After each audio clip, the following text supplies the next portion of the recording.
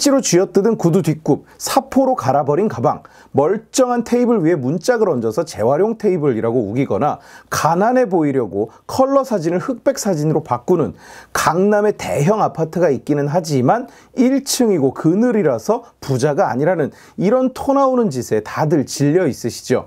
그 흑역사에 또 한 번 획을 긋는 장면이 나왔습니다. 박주민의 외다리 안경이에요. 공식 석상에서 뭔가를 하는 자리에 뭐 뭘 했는지는 생각도 안 나고 관심도 없습니다만 그 자리에 저러고 나온 거예요. 안경 다리가 하나 부러져서 안경이 삐뚤어진 채로 박주민은 딱 히 없어 보이려고 노력할 필요는 없을 것 같은데 오늘 영상은 박주민에게 주는 충고입니다. 민주당에게 주는 충고라고 해도 되겠죠.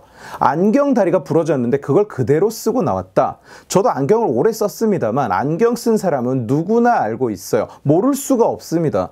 다리가 부러진 안경은 쓸 수 없어요. 한순간도 쓸 수 없습니다. 가방끈 끊어진 거 이런 것과는 다릅니다. 자전거 바퀴가 하나 빠진 것과 비슷하다고 보면 돼요. 안경 다리가 하나 부러지면 안경은 절대로 균형을 잡을 수 없기 때문에 반드시 삐뚤어지고 안경이 삐뚤어진다는 건 곧 눈앞의 세상이 바뀐다는 거예요. 그렇기 때문에 안경을 쓰는 사람들은 대부분 여유분이 있습니다. 갑자기 안경이 없어지면 일상생활이 안 되기 때문에 여분을 맞춰 놓거나 적어도 이전 안경을 버리지 않고 집에 둬요. 유행이 지났거나 어쨌거나 일단 새 안경 맞출 때까지 쓸 수는 있으니까요. 100번 양보를 해서 전날 밤 늦게 안경이 부러졌다. 그리고 여분도 없다. 그러면 안경을 쓴 사람이 아침에 가장 먼저 하는 일은 뭐냐? 안경점에 가서 새 안경을 맞추는 겁니다. 왜? 일상생활이 안 되니까요. 있어요. 얼마 하지도 않고 시간도 얼마 안 걸려요. 나는 최고급 안경테에 최고급 렌즈만 쓰기 때문에 제작이 오래 걸린다. 이럴 수는 있는데 부러진 최고급 안경테보다는 안 부러진 싸구려 안경테가 훨씬 좋은 안경테라는 건 굳이 설명할 필요도 없습니다. 일단 바로 제작되는 걸로 하나 맞추겠죠. 안경을 쓴 사람이라면. 왜 새로 맞추지 않고 그러고 나왔느냐 하는 질문에 될 수 있는 변명이 없는 거예요. 더 양보해서 여분도 없고 새 안경을 맞추러 갈 시간조차 없었다. 그러면 안경을 쓰는 사람의 마지막 선택은 뭐냐? 다리에 순간 접착제를 바르거나 테이프로 감는 겁니다. 안경 다리가 부러진 채로 다니는 게 아니라 다리가 부러진 채로 다니는 건 절대로 옵션이 아니니까요. 그런데 박주민은 그러고 나온 거예요. 그리고 저 코미디 같은 사진을 찍은 겁니다. 저짓이 잘 팔리던 때가 있었어요. 실제로 저열한 정치인이 뒷굽이 뜯어진 구두를 신고 나와서 사진이 찍혔을 때 검소하네 뭐네 하면서 빨아대던 때가 웃기죠. 그것도 누군가가 굳이 남의 구두 뒷굽 사진을 찍었다는 게 미리 그거 찍어서 올리기로 기자랑 짜놓지 않고서야 남의 발바닥 사진을 왜 찍습니까? 그런 가난놀이가 대유행을 하던 때가 있었던 거예요. 특히 박모가 살아있을 때 심했죠. 그런데 이제 세상이 달라졌어요. 이제 누가 뭐 부러지고 뜯어지고 찢어진 걸 걸치고 나오면 사람들이 그것들 재산 공개 얼마를 했는지부터 봅니다. 가방 지퍼가 뜯어져서 오핀으로 끼워서 다녀요. 이런 사진을 사진을 올리면 와 너무나 검소하세요 깍깍 하는 게 아니라 어 이 새끼 2016년에 재산 공개한 게 21억인데 그중에 건물이 9.5억이었으니까 이제는 더 올랐겠네? 쿠팡에 남자 백팩 검색하면 9,900원 1,800원짜리도 나오는데 재산이 21억이 넘는 놈이 가방을 옷핀으로 끼워서 다녀? 이런 토 나오는 인간 이렇게 되는 거예요. 이제는 사람들 반응이 좋지 않습니다. 쟤네들이 가난 장사를 지금껏 너무 심하게 해먹은 거예요. 식상해요. 그런데 문제는 뭐냐? 외다리 안경이 논란이 되니까 박주민이 해명처럼 이런 글을 남깁니다. 어제 애랑 놀아주다가 부러져서 그랬다고요. 애랑 놀다 부러졌든 혼자 자빠져서 부러졌든 개가 씹어 먹었든 간에 앞에 말씀드린 대로 그걸 바로 교체하지 않았다는 건 누가 봐도 괴상한 일이죠. 근데 주목할 만한 것이 뭐냐? 박주민 소셜미디어에 달린 리플들을 보면 전부 어떤 내용이냐? 너무나 검소하시다. 너무나 좋은 아빠다. 사랑 많은 아빠의 모습이다. 애를 정말 사랑하신다. 일요일 낮에 교회에 가도 이렇게까지 찬양이 쏟아지지는 않을 것 같은 그런 꼴이에요. 우선 다리가 부러진 안경을 쓰고 나왔다. 꼭 그게 검소한 게 아니죠. 안경이라는 것이 가격 자체가 얼마 안 합니다. 말씀드린 대로 비싼 물건을 찾으면 위로는 한없이 있겠습니다만 당장 쓸 안경을 찾는 데는 돈이 얼마 안 든다는 거예요. 차가 고장 났는데 새 차를 살 돈이 없어서 대중교통을 이용하고 어쩌고 이런 것과는 무관한 겁니다. 부러진 안경은 뜯어진 가방, 찢어진 구두, 땅에 떨어진 닭발과 같은 거예요. 게다가 부러진 안경을 끼고 나온다는 게 좋은 아빠의 모습이 아니죠. 그건 어떤 사람의 아버지로서의 가치나 성향을 전혀 표현하거나 반영하지 않습니다. 애랑 놀다가 안경이 부러질 수 있다고 치고 그런데 그걸 새 안경으로 바꾸느냐 부러진 외다리 안경을 쓰고 다니느냐는 아버지로서의 역할과 완벽하게 무관하다는 거예요. 부러진 안경을 쓰면 좋은 아빠다. 그러면 안경을 새 걸로 갈아 끼운 아빠는 나쁜 아빠입니까? 애가 정성 들여 부러뜨린 안경을 매정하게 새 걸로 갈아버렸다?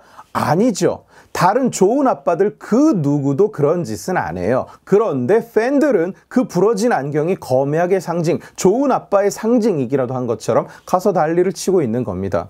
여기에서 본질적인 문제가 발생하는 거예요. 한국 정치는 원래 팬덤을 중심으로 돌아가는 저급하고 저열한 문화를 가지고 있습니다. 굉장히 후진적인 체계예요. 우측이라고 해서 그 예외는 아닙니다. 그 러나 좌측이 훨씬 강한 팬덤을 가지고 있다는 것도 부정할 수 없는 사실이죠. 사진만 봐도 눈물이 나온다고 오바지를 떨거나 컨벤션 센터에 정치인 이름을 갖다 붙이고 있는 그런 상황이니까요.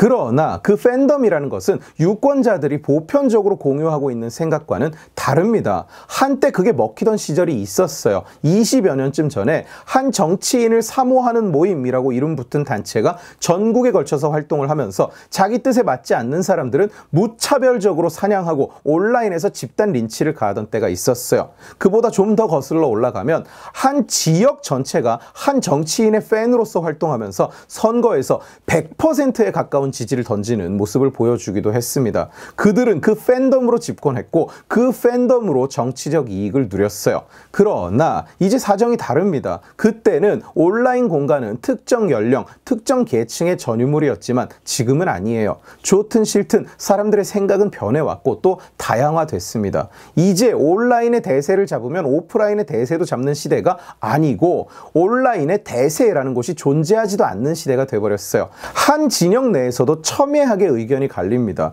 노사모의 지도 아래 온 진영이 일치 단결, 단결하지 않는 자는 린치와 숙청. 이런 시대는 끝난 거예요. 굳이 비교하자면 중앙 집권 절대 왕정 시대에서 봉건 영주들이 할거하는 시대가 된 겁니다. 온 세상이 가난 놀이, 가난 장난, 가난 코스프레의 염증을 느끼고 있는데 자기 주변에는 온통 그걸 찬양하는 사람만 존재하는 거예요. 그러니까 저런 짓을 할 때마다 지가 잘했다는 착각에 빠지기 쉽습니다. 자기가 잘했다고 생각이 되니까 고칠 수가 없어요. 세상이 바뀌었다는 걸 모릅니다. 자기는 그 이너서클의 중심에 서 있으니까요. 박주민만의 문제가 아닙니다. 이재명이 개딸놀이에 열중하는 것도 마찬가지예요. 반갑잖아, 고맙잖아 하면서 스 스스로 20대 개딸이라고 주장하지만 사실은 40에서 50대 무직 남성인 팬들에게 둘러싸여서 그걸 확대 해석하고 그게 대세라고 착각하는 겁니다. 결국 이런 행태는 자기 정치적 무덤이 되는 겁니다. 정치 갈라파고스에 들어앉아 있게 되는 거예요. 내 앞에서 천 명이 모여서 떠든다. 그러면 온 세상이 그렇게 생각하는 것 같아요. 다른 건 들리지도 않고 보이지도 않습니다. 그러나 고작 천 명일 뿐이죠. 유권자는 4천만 명이 넘는데 국힘당 인물들도 물론 그 짓을 합니다. 누구지 말은 안 하겠습니다만 그러나 이런 성향은 팬덤이 강한 민주당에서 훨씬 더해요. 지들이 삽질을 하다가 무덤을 파고 스스로 기어 들어가는 거야. 제가 신경 쓰기는커녕 오히려 축하할 만한 일이지만 문제는 이런 인간들이 자꾸 그 주변의 고작 수백 명, 고작 천 명이 하는 요구를 시대의 부르민줄로 착각하고 현실 정치로 끌고 들어온다는 겁니다. 정신 나간 아젠다를 끄집어내고 정신 나간 법을 만들고 방송에 나와서 헛소리를 해대고 그걸 진의 당의 정책 목표로 삼아버리는 거예요.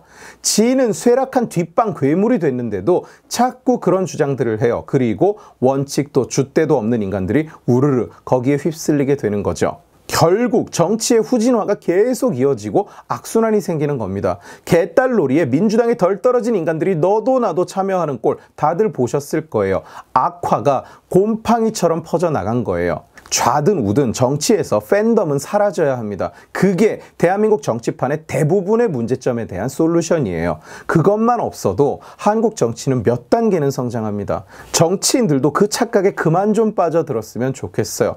옆에서 떠드는 몇이 잘했다 잘했다 한다고 본인이 진짜 잘한 게 아니라는 걸 좀 깨달았으면 좋겠습니다. 오늘 지식의 칼은 여기까지입니다. 재미있게 보셨으면 지식의 칼 채널을 구독해 주시고 이 영상을 주변에 공유해 주세요. 여러분들이 공유해 주시면 설득은 제가 하겠습니다. 고맙습니다.